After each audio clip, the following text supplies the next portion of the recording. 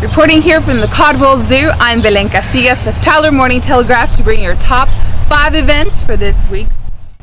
Hey, all moms out there, bring the kids to watch Romeo and Juliet at the Tyler Public Library Taylor Auditorium. The movie will be playing two days, Monday and Tuesday, 2 p.m., free for all ages.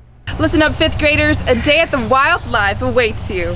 Thursday at 2 p.m., the Teens and Twins Day at the Caldwell Zoo will take place. Don't miss out on this big adventure.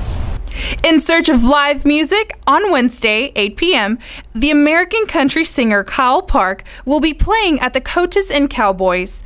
Tickets at the door are $13 and $15 for ages under 21.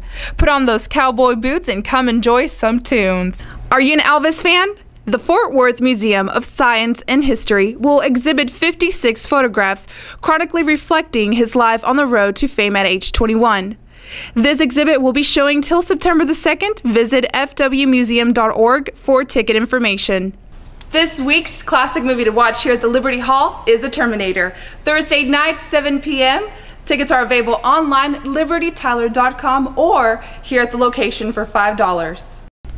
Have a wonderful week. Tylerites and live life to the fullest. See you Friday on the next top five things to do this weekend.